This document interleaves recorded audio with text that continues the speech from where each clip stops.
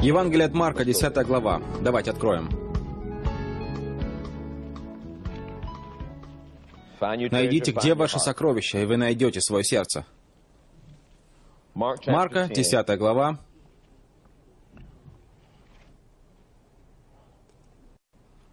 Попробуем узнать, где сердце этого человека и что им движет.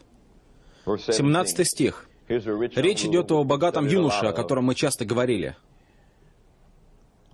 17 стих. «Когда выходил он в путь, подбежал некто, пал перед ним на колени и спросил его, «Учитель благий, что мне делать, чтобы наследовать вечную жизнь?» Жизнь Зоя. Иисус сказал ему, «Что ты называешь меня благим? Никто не благ, как только один Бог. Знаешь заповеди, не прелюбодействуй, не убивай, не кради, не лжесвидетельствуй, не обижай, почитай отца твоего и мать». Здесь перечислены шесть заповедей. И юноша сказал, что он исполнил эти заповеди все. Он же сказал ему в ответ, «Учитель, все это сохранил я от юности своей». Иисус, взглянув на него, полюбил его и сказал ему, «Одного тебе не достает». А потом Иисус показал ему, точнее доказал, что именно ему не достает. Иисус сказал, «Пойди, все, что имеешь, продай». Что делает Иисус? Он собирается показать юноше, где находится его сердце. Этот юноша стоит перед Иисусом и старается показать себя Иисусу с лучшей стороны. Мы часто стараемся преподнести себя лучше, чем мы есть на самом деле. Юноша старается сделать все, чтобы Иисус увидел его именно с этой, с лучшей стороны.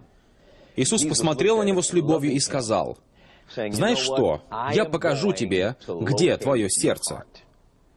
Посмотрите, что он делает, чтобы помочь человеку обнаружить свое сердце. Иисус говорит, «Иди, продай все и раздай нищим, и будешь иметь сокровища на небесах. И приходи, последуй за мной, взяв крест». Видите, что Иисус делает? Если я могу определить, где его сокровище, тогда я узнаю, где его сердце. Посмотрим, как он поступит со своим сокровищем. Тогда я, говорит Иисус, узнаю, где его сердце. Очень часто Бог поступает с нами таким же образом. Мы приходим в церковь, и Бог говорит нам, пожертвуй 500 долларов. Нет, Бог, не могу.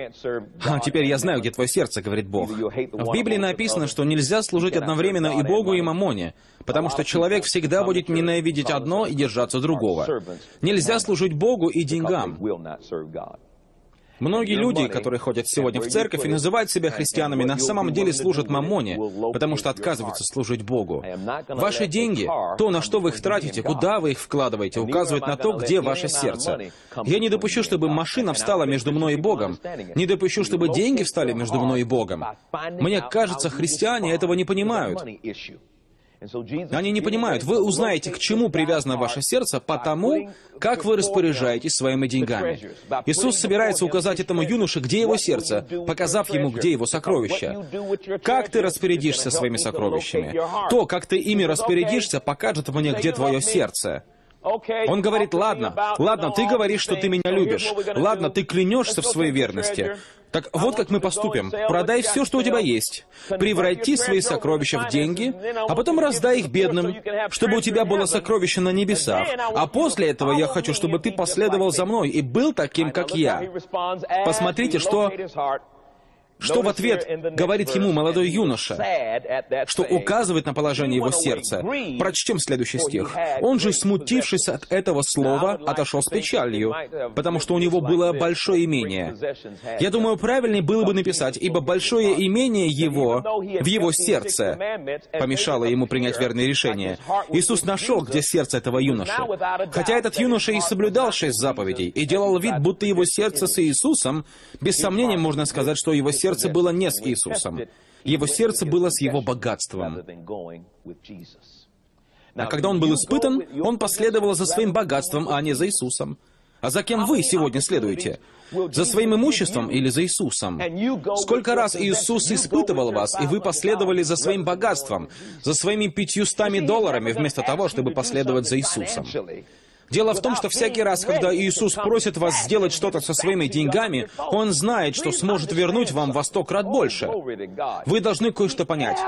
И слава Богу, если Он когда-либо попросит вас пожертвовать какую-то сумму, не упускайте эту возможность.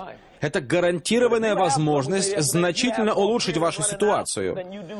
Но если ваш страх перед нищетой сильнее вашей веры в процветание, вы последуете за своими финансами, и ваше сердце будет с вашими финансами. И не говорите, что ваше сердце с Богом, оно с этими деньгами. Здесь написано, что юноша отошел с печалью. Его огорчили слова Иисуса и он отошел с печалью. Вы знаете, что печаль — это последствие утраты. Он посчитал, что если он сделает то, что сказал ему Иисус, то потеряет, а не приобретет. Он не видел приобретения в том, чтобы вложить свои богатства в Божье Царство. Он не видел приобретения в том, чтобы быть послушным Богу и вложить свои средства в распространение Божьего Царства. Ведь это было дело Божьего Царства — помочь бедным. Но он этого не видел и расстроился из-за этого. Почему? А потому что владел большими богатствами, или, правильнее сказать, богатства овладели его сердцем. Бог указал, где было его сердце, и он, опечаленный, отошел. Его сердце было с имуществом. Иисус пригласил его последовать за собой. Я полагаю, что этим юношей был Варнава. Мы не можем утверждать с полной уверенностью, но многие считают, что этим юношей был именно Варнава. Иисус пригласил его занять место Иуды. Он умел распоряжаться деньгами.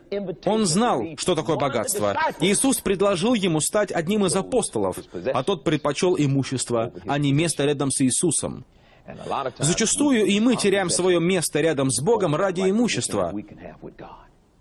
А потом на нас сваливаются беды, и мы не знаем, почему все это с нами стряслось.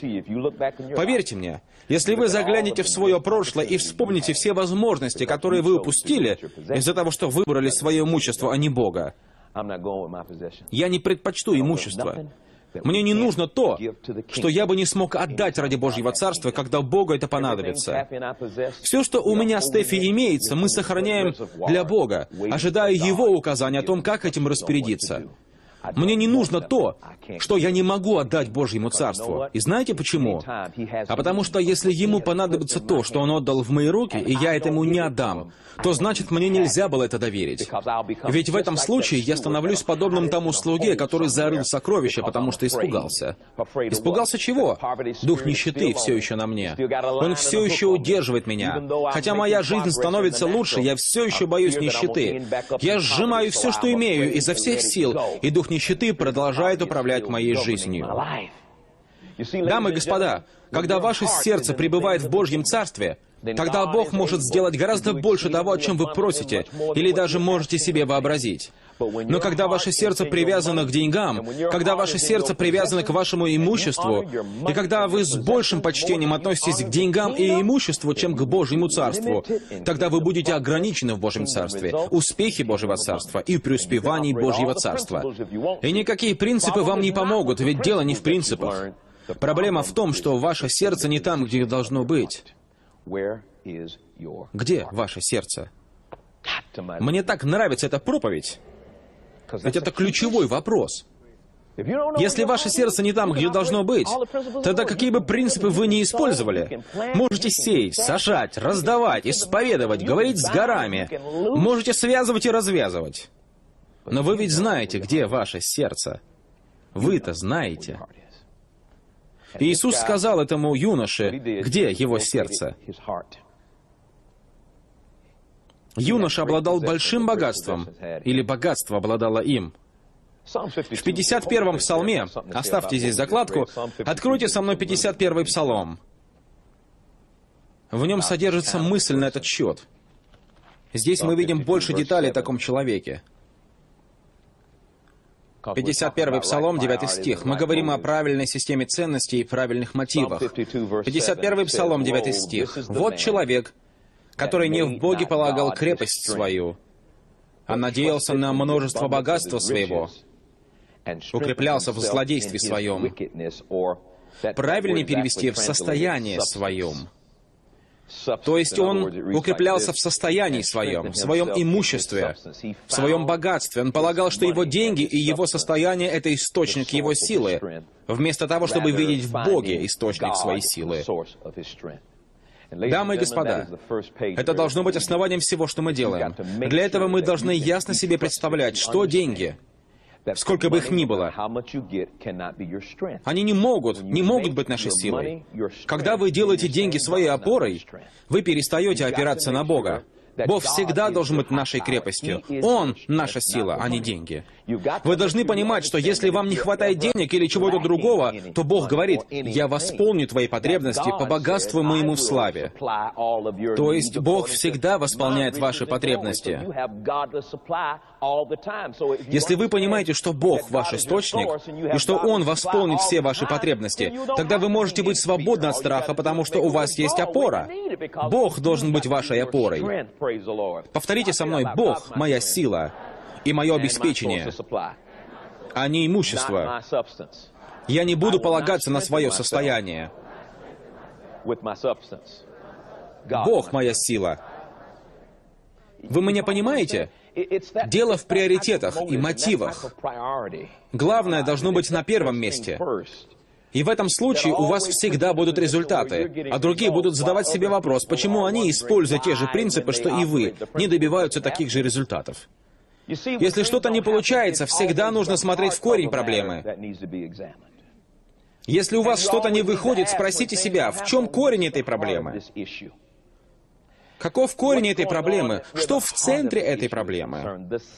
Что является ядром этой проблемы? Причина проблемы может быть не в том, что вы, например, не жертвуете, а в том, что у вас неправильные побуждения. Корнем проблемы может быть не прощение или грех, в котором вы не покаялись. Корнем проблемы может быть состояние вашего сердца. И из-за этого у вас ничего не получается. И когда у вас что-то не получается, вы можете все исправить, начав со своего сердца. И когда мы с вами исправим свое сердце, то и все другое постепенно встанет на свои места. Мне всегда было больно видеть незрелого пастора, который принимается проповедовать о процветании, но умоляет эту проповедь, сводя ее лишь к обогащению. Божьи принципы помогут нам обогатиться, потому что Бог добрый Бог, и Он обязательно нас благословит. Бог будет добр и благ, даже если у вас ничего не будет. Бог был добрым, когда у вас ничего не было. То есть наше убеждение в доброте Бога не должно основываться на богатстве, которое Он нам дал. Бог благ независимо от всего. Богатство приходит, потому что вы с самого начала верили, что Он добрый Бог. Ваше сердце было в правильном месте. Ваше Ваши побуждения были правильными. Ваше сердце было в правильном месте. Вот поэтому я разделил это учение о процветании на серии. Вы можете взять первую серию и узнать о том, что такое нищета и что такое процветание. Во второй серии проповеди я проповедовал о помазании и его действии. Теперь я говорю о сердце. Если применять все эти проповеди на протяжении всего года, вы не сможете оставаться бедными ни в одной из сфер вашей жизни. Но самое главное во всем этом — это сердце. Для Бога самое важное — ваше сердце. Почему? Потому что Бог взвешивает сердца. Бог не смотрит на вашу одежду, на ваши слова. Он взвешивает сердце. Если человек всегда собирается что-то сделать, но так ничего и не делает, то возникают сомнения в отношении его характера и его сердца. Ведь через какое-то время слова типа «я собирался это сделать» становятся лишь оправданием, и возникает вопрос, почему вы всегда лишь собираетесь, но никогда ничего не делаете? А потому что проблема в сердце. Корень проблемы в сердце. Okay? Итак, если читать дальше, вы увидите и другие проблемы, которые Иисус обнаружил в этом юноше. Но самое серьезное — это неправильное положение его сердца. И Иисус указал ему на это, использовав его же богатство. Давайте откроем 18 главу Евангелия от Луки. Я хочу обратиться ко всем вам. Если бы вы все воспользовались этими принципами, и это привело бы вас к многомиллионному состоянию, тогда вы смогли бы преобразить ситуацию в десяти штатах. Для этого не потребовалось бы 20-30 тысяч человек. Вас бы хватило. Вас было бы достаточно. Мы все преданы Божьему Царству. Мы все преданы Царству. Кто-то меня однажды спросил, что бы ты сделал, если бы выиграл 150 миллионов долларов? А я уже знаю, Божье Царство было бы приоритетом. Сначала отдал бы Богу 10%, потом пожертвование, а потом сделал бы что-нибудь для Божьего Царства. А потом меня, скорее всего, заинтересовало бы другое дело Божьего Царства. И когда человек делает что-то для Божьего Царства, деньги продолжают поступать. Они не кончаются, когда человек сеет в добрую почву. Кто-то скажет, я бы так и поступил, были бы у меня миллионы долларов. А как ты распорядился этими двумя долларами? Не рассказывай, как бы ты распорядился миллионами, если ты не делаешь того же с тем, что есть у тебя здесь и сейчас. Ты ничего не будешь делать, даже если Бог даст тебе несколько миллионов. Вы только говорите, что сделаете это. Но в реальности, если вы не делаете этого сейчас, то вы не сделаете этого и позже. Потому что Иисус сказал, что если вы не верны в малом, то и в большом верны не будете. Итак, Евангелие от Луки, 18 глава, 29 стих. Здесь мы еще больше узнаем о правильном положении сердца. Стихи 29 и 30. Вот что здесь написано. Он сказал им, «Истинно говорю вам, нет никого, кто оставил бы дом, или родителей, или братьев, или сестер, или жену, или детей для Царства Божия, и не получил бы гораздо более в сие время, и в век будущий жизни вечной. Примечательно, что в 29 стихе написано «Истина, истина говорю вам, нет никого, кто оставил бы дом, или родителей, или братьев, или сестер, или жену, или детей для Царствия Божьего, для Царствия Божьего. Вот так здесь написано для Царствия Божьего, ради Него. Звучит вопрос, а что вы готовы сделать для Божьего Царства?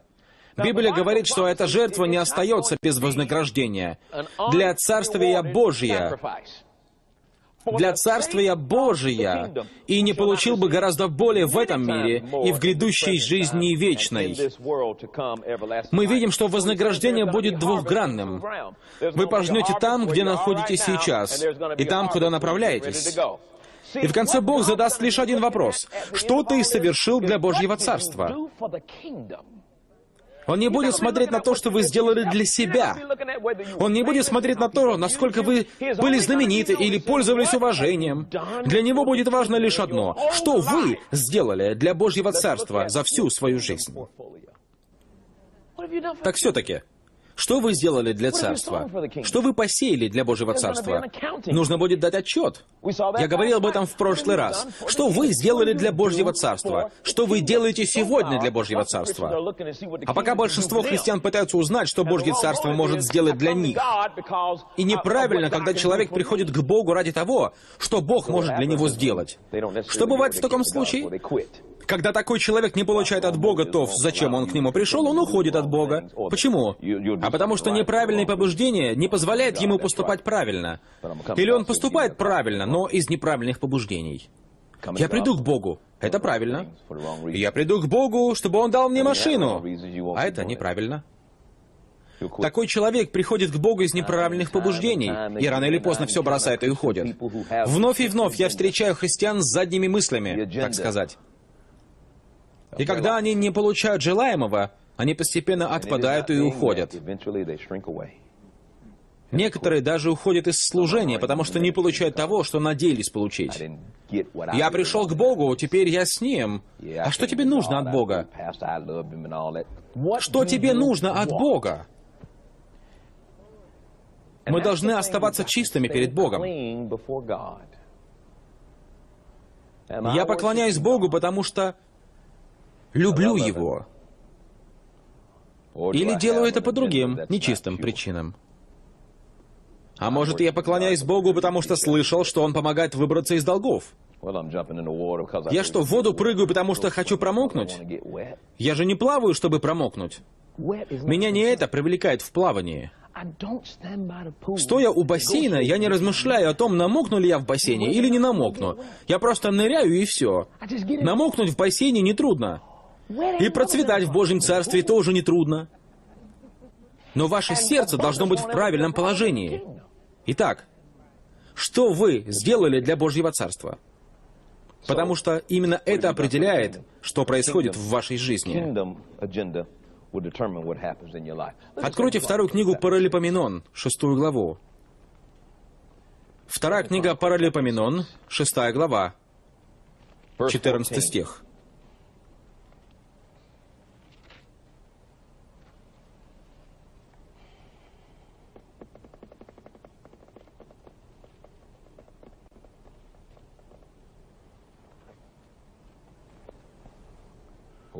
Это очень хорошо. И сказал, открыли, да? И сказал, «Господи Боже Израилев, нет Бога, подобного Тебе, ни на небе, ни на земле». Воскликните «Аминь». Ты хранишь завет и милость к рабам Твоим, ходящим пред Тобою всем сердцем своим. Он хранит завет и проявляет милость к тем, кто любит Его искренне, от всего сердца, не с тайными, не чистыми побуждениями, но со всем своим сердцем. А ходить перед Богом всем сердцем можно только, когда служишь Ему своим сокровищем. А иначе невозможно. Господи, я люблю Тебя от всего сердца своего. А десятину отдаешь? Я не верю в десятину. Значит, любишь не от всего сердца, не со всем сердцем. Вы видите взаимосвязь? Не обманывайте себя. Нельзя утверждать, что вы отдаете свое сердце Богу, если при этом не поддерживаете Божьего Царства. Он связал ваше сокровище с вашим сердцем. И он сказал, «Я всегда могу узнать, где ваше сердце, посмотрев, где ваше сокровище». Вы должны сделать Божье Царство центром своей жизни, и тогда Бог исполнит свой завет и будет к вам милостив. Сделайте же Божье Царство центром своей жизни, и Бог исполнит свой завет и проявит к вам милость. Сделайте Божье Царство центром своей жизни, сердцем своей жизни, и Он исполнит свой завет и проявит к вам милость. Что Бог думает о вашем сердце? Вот несколько стихов, над которыми вы можете поразмышлять размышлять. Деяние, первая глава, 24 стих. Здесь написано, что Бог знает наше сердце. Бог знает наше сердце. Слава Господу! Вы никогда не сможете скрыть истинные мотивы, истинные намерения своего сердца. Первая Паралипоменон, 29 глава, 9 стих. Первая Паралипоменон, 29 глава, 9 стих. Здесь говорится о том, что Бог исследует все сердца. Он исследует сердца человеческие. Притча 17 глава 3 стих. Здесь говорится, что Бог испытывает сердца. Бог испытывает сердца. Есть замечательный пример этого. Давайте посмотрим. Второзаконие, 8 глава, 2 стих. Смотрите. Бог испытывает сердца. Второзаконие, 8 глава, 2 стих. Очень хороший пример.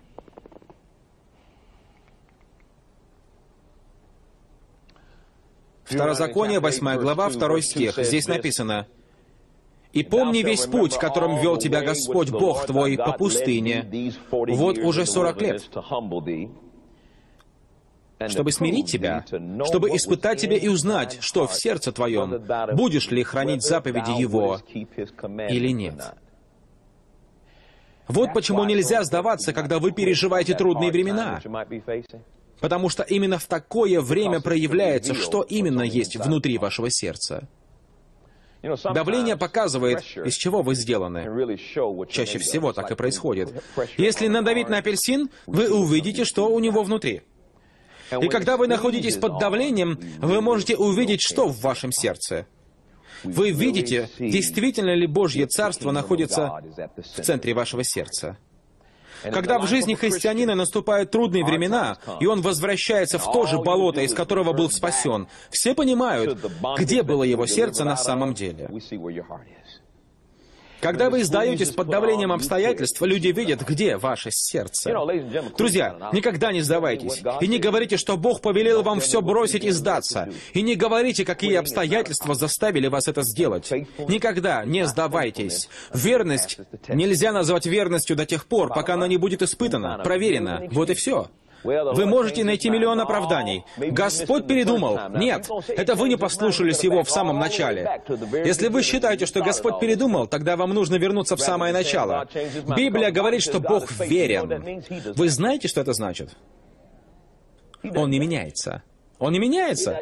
Он сегодня, вчера и вовеки тот же. Он всегда тот же, тот же самый. Но что делаете вы, когда попадаете под давление?